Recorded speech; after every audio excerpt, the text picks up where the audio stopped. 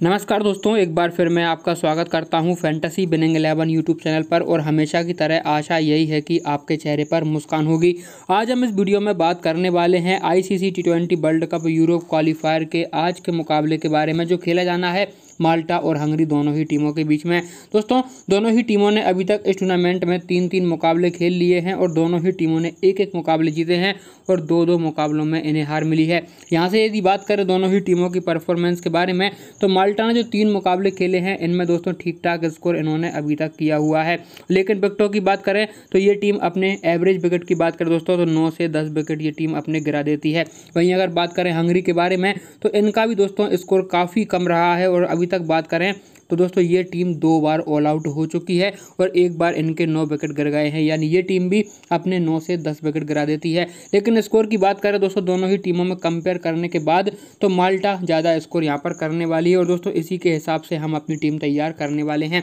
लेकिन यदि ग्राउंड की बात करें तो बारह मुकाबले अभी तक इस ग्राउंड पर खेले जा चुके हैं। इसी टूर्नामेंट के जिनमें से छः मुकाबले पहले बल्लेबाजी और छः मुकाबले बाद में बल्लेबाजी करने वाली टीम ने जीते हैं। एवरेज स्कोर की बात करें तो यूँ तो दोस्तों एवरेज स्कोर एक का अभी तक रहा है, लेकिन इस मुकाबले में दोस्तों एवरेज स्कोर में परिवर्तन हमें देखने को मिल सकता है। क्योंकि यदि माल्टा की टीम पहले बल्लेबाजी करती है तो ये स्कोर हमें डेढ़ के आसपास ज़रूर देखने वाला है। लेकिन यदि हंगरी की टीम पहले बल्लेबाजी करती है तो ये स्कोर हमें 110 के आसपास देखने वाला है। और दोनों ही टीमों की, यदि विकेटों की बात करें, दोस्तों, माल्टा के विकेट आराम से आठ और नौ विकेट गिरने वाले हैं। वही हंगरी की टीम, दोस्तों ऑल आउट आज के मुकाबले में होने वाली है। तो इसी हिसाब से हम अपनी टीम तैयार करने वाले हैं। क्योंकि दोस्तों, दोनों ही टीमों में बात करें टोटल चालीस ओवर फेंके जाएँगे दोस्तों, हम कोशिश यही करेंगे कम से कम छत्तीस से लेकर चालीस ओवर हमारे बॉलर कवर कर सकें। तो उसी के हिसाब से आज हम अपनी टीम तैयार करने वाले हैं और टॉस हमारे लिए काफ़ी इंपॉर्टेंट रहने वाला है क्योंकि यदि माल्टा पहले बल्लेबाजी करता है तो इसके हम पाँचवें और छठवें नंबर के बल्लेबाजों को दोस्तों कैप्टन वाइस कैप्टन ट्राई करेंगे। वहीं यदि हंगरी पहले बल्लेबाजी करता है तो हम माल्टा के बॉलर्स को कैप्टन वाइस कैप्टन ट्राई करने वाले हैं। तो सबसे पहले दोस्तों अपन बात करते हैं दोनों ही टीमों की बैटिंग ऑर्डर के बारे में।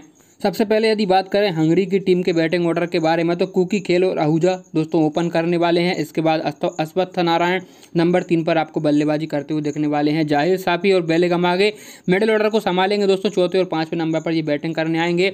इसके बाद केतरपाल नंबर छः और नंबर सात पर माध्यान दोस्तों बल्लेबाजी करने वाले हैं। आप इसका स्क्रीन ले लीजिएगा जब भी आप टीम तैयार करोगे दोस्तों, ये स्क्रीन आपके लिए काफ़ी मददगार साबित होने वाला है। वहीं अगर बात करें माल्टा के बारे में तो विक्रम अरोरा और दोस्तों सैमुअल स्टेमुलस ये दोनों ही ओपनिंग करने वाले हैं।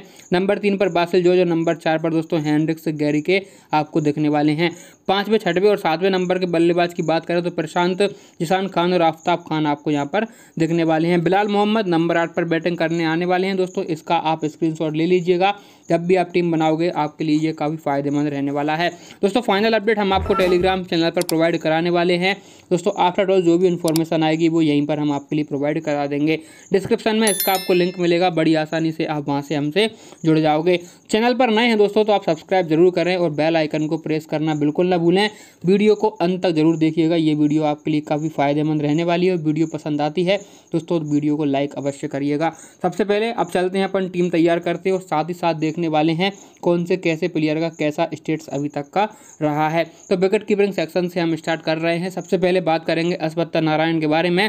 तो लगभग हर बंदे ने इन्हें अपनी टीम में शामिल किया है दोस्तों, क्योंकि ये आपको मिडिल ऑर्डर में बल्लेबाजी करते हुए देखने वाले हैं। तीन से लेकर पाँचवें नंबर तक दोस्तों कभी भी ये बल्लेबाजी करने आ सकते हैं। पहले मुकाबले में इक्कीस, दूसरे मुकाबले में शानदार बावन रन बनाए हैं, जो कि नंबर तीन पर बैटिंग करते हुए बनाए हैं। और लास्ट मुकाबले में पंद्रह रन की पारी इन्होंने खेली है। लेकिन बात करें आफ्ताब खान के बारे में तो उनतीस लोगों ने सिलेक्ट किया है। पहले मुकाबले में ज़रूर ये पाँचवें नंबर पर बैटिंग करने आए थे, लेकिन इसके बाद दोस्तों इनका बैटिंग ऑर्डर काफ़ी नीचे चला गया। और बात करें दोस्तों इसीलिए इनके बल्ले से स्कोर बिल्कुल नहीं हुआ है। तो ऐसे में हम यहाँ से सिर्फ़ और सिर्फ़ एक ही विकेट कीपर को अपनी टीम में शामिल कर कर आज चलने वाले हैं। दोस्तों, बल्लेबाजों के बारे में बात करें लेकिन उसके पहले हम ऑलराउंडर सेक्शन को देखने वाले हैं, क्योंकि ये हमारे लिए इंपॉर्टेंट रहने वाला है। बल्लेबाजी सेक्शन में दोस्तों, काफ़ी ज़्यादा प्लेयर हमें यहाँ पर देखने वाले हैं। ऑलराउंडर सेक्शन से जसान खान कुकी खेल को निश्चित तौर पर आपको अपनी टीम में शामिल करना है, क्योंकि दो मुकाबलों में ये बल्लेबाज ओपन कर चुका है और एक मुकाबले में नंबर चार पर ये बैटिंग करने आए थे। और रन की बात करें तो लगभग लगभग दोस्तों एवरेज रन अभी तक ये कर रहे हैं, पर अच्छी बात यह है कि पहले मुकाबले में एक विकेट दूसरे मुकाबले में एक और तीसरे मुकाबले में दो विकेट अपनी टीम के लिए निकाले हैं। यानी किसी भी प्रकार की हेड टू हेड रस्मों लीग की बात करें तो ये आपका कैप्टन और वाइस कैप्टन आज के मुकाबले में रहने वाला है। सबसे अच्छी बात, चार ओवर ये आपको कंप्लीट भी कर कर देगा। यानी देखें दोस्तों बैट बैटिंग और बॉलिंग दोनों परफॉर्मेंस ये प्लेयर कर रहा है। इसके अलावा बात करेंगे विक्रम अरोरा के बारे में। तो लगभग हर बंदे ने इन्हें भी अपनी टीम में शामिल किया है। लगातार अपनी टीम के लिए ओपन ये प्लेयर कर रहा है। ऐसे में रन ज़रूर इनके बल्ले से नहीं बन रहे हैं, क्योंकि माल्टा के लिए दोस्तों, जो भी रन बना रहे हैं, वो मिडिल ऑर्डर के बल्लेबाज बना रहे हैं। लेकिन इनके बारे में बात करें तो ये प्लेयर आपको चार ओवर कंप्लीट कर ज़रूर देने वाला है। दोस्तों, हर मुकाबले में इनको विकेट मिला है, इसलिए हम इस प्लेयर को अपनी टीम में शामिल कर कर चलने वाले हैं। अब ग्रैंड लीग के हिसाब से देखें तो आप इन्हें कैप्टन, वाइस कैप्टन ट्राई कर कर चल सकते हैं, क्योंकि सामने हंगरी की टीम कमज़ोर टीम है, इसका मतलब ओपन भी ये कर रहे हैं। ऐसे में पच्चीस से तीस स्कोर करते हैं और एक आध दो विकेट निकालते हैं तो आपके लिए शानदार ऑप्शन ये ग्रैंड लीग का बन जाएगा। दोस्तों, अब बात करते हैं एम डैश फाउंटेन के बारे में। तो इनका बैटिंग ऑर्डर तो काफ़ी नीचे आता है, यानी लास्ट नंबर पर ये बैटिंग करते हैं। इसलिए अभी तक एक और दो रन बनाए हैं। पहले मुकाबले में टीम ने इनको ड्रॉप किया था। लेकिन दोनों मुकाबलों में दो दो ओवर फेंके हैं। हालाँकि अभी तक तीन विकेट अपनी टीम के लिए निकाल कर दे चुके हैं। यानी हेड टू हेड के लिए ये प्लेयर काफ़ी अच्छा है। पर आप ग्रांड लीग में इनको ड्रॉप कर कर चल सकते हैं। इनके स्थान पर आप दूसरे प्लेयर को अपनी टीम में शामिल करें, जो कि आपको डिफरेंट पिक का काम वहाँ से कर कर दे सकता है। थोड़ी सी रिस्क है, लेकिन दोस्तों ये रिस्क इतनी जायज़ बनती है, क्योंकि दो ही ओवर ये प्लेयर कर कर दे रहा है। इसके अलावा बात करेंगे अपन खेतरपाल के बारे में। तो दोस्तों, नौ परसेंट लोगों ने ही इन्हें अपनी टीम में शामिल किया है, क्योंकि बैटिंग ऑर्डर में मिडिल मिडिल ऑर्डर में बल्लेबाजी तो कर रहे हैं, पर इनके बल्ले से कोई भी स्कोर अभी तक नहीं निकला है। हालाँकि दोस्तों, बॉलिंग भी कर रहे हैं, पहले मुकाबले में तीन ओवर फेंके कोई विकेट नहीं, दूसरे मुकाबले में चार ओवर फेंके कोई विकेट नहीं, और इसके अलावा दोस्तों, तीन ओवर फेंके हैं, कोई विकेट नहीं। यानी देखा जाए तो ये प्लेयर हम जैसा बता रहे थे, ग्रैंड लीग में डिफरेंट पिक का काम कर सकता है, क्योंकि मिडिल ऑर्डर में ये बल्लेबाजी कर रहा है। और दोस्तों, ओवर भी काफ़ी हद तक पूरे कर रहे हैं, लेकिन विकेट निकालते हैं तो आपके लिए डिफरेंट पिक का काम ये प्लेयर कर कर दे सकता है। बासिल जॉर्ज के बारे में बात करें तो अठारह परसेंट लोगों ने अपनी टीम में इन्हें शामिल किया है। नंबर तीन पर ये बल्लेबाजी कर रहे हैं दोस्तों, ये प्लेयर आपको बॉलिंग कर कर नहीं देने वाला। पहले मुकाबले में छत्तीस, दूसरे मुकाबले में सोलह और इसके बाद पाँच रन इन्होंने बनाए हैं। यानी देखें तो सिर्फ़ और सिर्फ़ दोस्तों रिस्क आप हेड टू हेड टीमों में ले सकते हैं। बाकी ग्रांड लीग में आप इनको ट्राई कर चल सकते हैं, क्योंकि माल्टा के प्लेयर हैं, सामने कमज़ोर टीम दोस्तों दिख रही है। लेकिन दोस्तों सबसे ज़्यादा आप बॉलर पर प्रेफरेंस ज़्यादा दीजिएगा क्योंकि दोनों ही टीमों से विकेट काफ़ी ज़्यादा गिरते हैं। पूरे मैच की बात करें तो यहाँ पर आपको 18 से 19 विकेट देखने को मिल जाएँगे। 18-19 विकेट मतलब दोस्तों आपको कम से कम 36 ओवर दोनों ही टीमों के ऐसे होना चाहिए जो आपके आपके टीम में बॉलर हों। वो छत्तीस ओवर कवर कर कर आपको दे सकें। दोस्तों, आगे बढ़ते हैं और बात करते हैं स्टेनलेस के बारे में। तो दो परसेंट लोगों ने टीम में शामिल किया है। दोस्तों, ये बल्लेबाज है, बिल्कुल भी बॉलिंग नहीं करते हैं। पहले मुकाबले में चौथे और दूसरे मुकाबले में एक रन बनाया है। पहले, इसके पहले वाले मुकाबले में टीम ने इनको ड्रॉप किया था। दस और तेरह रन की पारी इन्होंने खेली है। तो यहाँ से आप इस प्लेयर को ड्रॉप कर चलें। अब देखें यहाँ से, दोस्तों, निश्चित तौर पर आपको दो से तीन प्लेयर अपनी टीम में यहाँ पर शामिल करना है। ये आपके लिए ऑप्शनल रहने वाला है।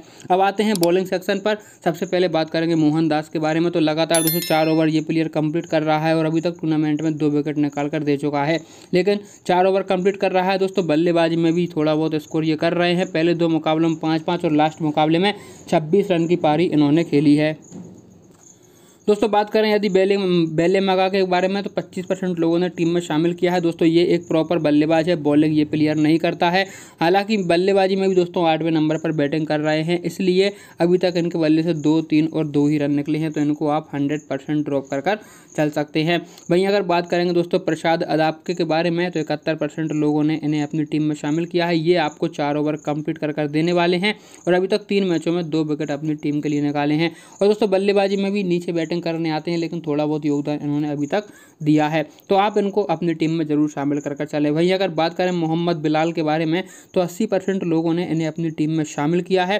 दोस्तों, काफ़ी अच्छा बॉलर है चार चार ओवर कंप्लीट कर रहा है। दोस्तों, हर मुकाबले में चार ओवर फेंके हैं और दो विकेट टीम के लिए अभी तक निकाल कर दे चुके हैं। और बैटिंग में भी दोस्तों, ये आपको थोड़ा बहुत स्कोर कर कर दे सकते हैं, क्योंकि अभी तक चार सात और एक रन इन्होंने बनाए हैं सातवें और आठवें नंबर पर बैटिंग करने के बाद।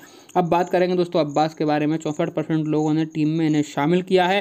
दोस्तों, ये प्लेयर आपको सबसे नीचे बैटिंग करता हुआ दिखने वाला है। लेकिन बात करें तो चार ओवर ये प्लेयर कंप्लीट कर कर दे रहा है। और दोस्तों, दो विकेट पिछले ही मुकाबले में निकाल कर इन्होंने दिए हैं। यानी ओवरऑल देखा जाए दोस्तों तो आप टीम में शामिल इनको कर कर चल सकते हैं। दोस्तों, बाकी ऐसा और कोई प्लेयर नहीं है यहाँ से जिसके बारे में बात करें। यानी यहाँ से आपको सिर्फ़ चार प्लेयर टीम में शामिल करना है। ऑलराउंडर सेक्शन से तीन प्लेयर टीम में शामिल करना है। यदि आप इन सात प्लेयरों को टीम में शामिल करते हैं तो आपके लिए काफ़ी फ़ायदा यहाँ पर रहने वाला है। दोस्तों बैटिंग सेक्शन भी हम उन्हें अपनी टीम में शामिल करेंगे, जो हमें बॉलिंग कर कर दे रहा है। दोस्तों, सबसे पहले यदि बात करें इमरान आमिर के बारे में तो पहले मुकाबले में तीन ओवर दूसरे मुकाबले में तीन ओवर और लास्ट मुकाबले में चार ओवर फेंके हैं। हालाँकि विकेट नहीं मिले हैं, लेकिन बॉलिंग कर रहे हैं, इसलिए हम अपनी टीम में शामिल करने वाले हैं।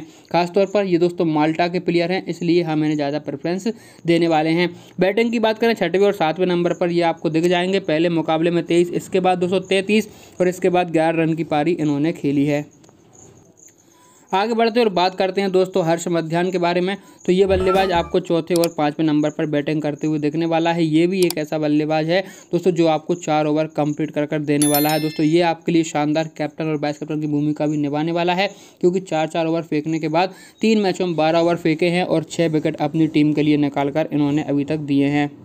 यदि बल्लेबाजी की इनकी बात करें दोस्तों तो रन ज़्यादा नहीं है, लेकिन फिर भी तीन रन, नौ रन और ज़ीरो बनाए हैं। पर बॉलिंग लिहाज से देखोगे तो आपके लिए छः विकेट निकाल कर दिए हैं। और सबसे अच्छी बात दोस्तों, मिडिल ऑर्डर में बल्लेबाजी कर रहे हैं। थोड़ा बहुत स्कोर करते हैं तो ये आपके लिए बोनस पॉइंट रहने वाला है।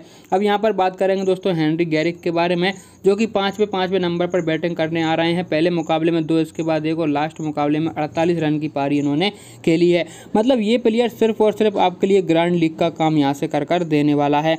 अब बात करेंगे दोस्तों अपन वी प्रशांत के बारे में। तो मिडिल ऑर्डर में ये बल्लेबाजी कर रहे हैं। पहले मुकाबले में चौथे, इसके बाद पाँचवें छठवें नंबर पर बैटिंग करने आए हैं।